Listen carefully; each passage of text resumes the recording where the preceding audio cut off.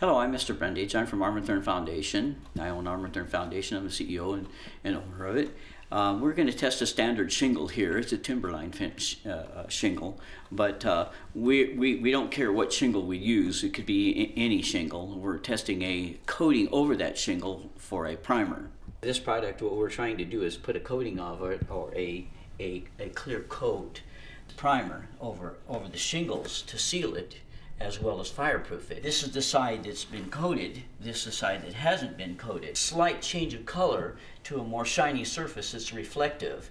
And uh, it will seal the tile shingles together as well as make them hydrophobic so the water will run off of them. In order to make the tiles not only reflect heat and light better, they'll also last longer and hold together under high winds. Now we'll go test it. This is a standard E285 open torch test.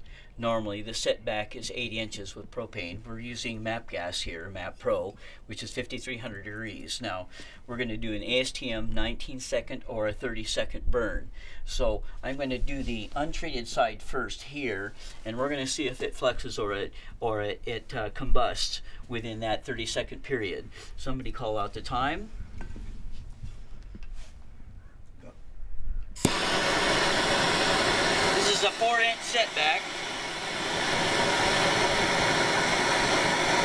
Okay, we have fluxing, we have running, we have combustion. Okay, now so we have combustion within that that period of time. How long was that? 10 seconds. We have 10 seconds. All right, now we're going to do the same test on this side based on uh, 4 inch setback. And this is the, the coated side, which is the, the, the uh, primer on it. And what we'd like to do is find out if that primer is going to hold up and it's going to combust or it's going to flux. Now, it has to flux because this material has to tack together, but what we want to do is find out if it's going to combust.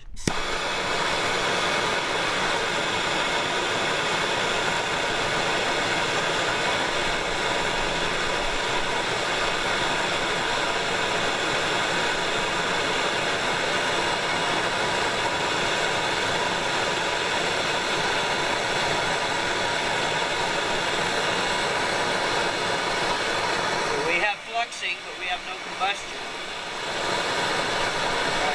Normally when a product fuses, when it's torched down, it has to be torched together.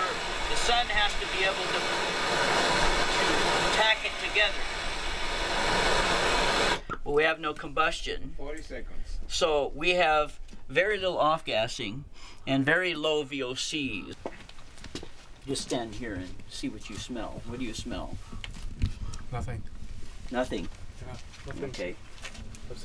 Oh. Okay, so there's there's a pretty good test. Now it's should have been done in the lab, but we we we have a problem with it. You know, giving off gassing uh, uh, nitrates and you know and and uh, uh, the smell of tar from it. You know, we we wanted to do this in a lab, so we did it out here.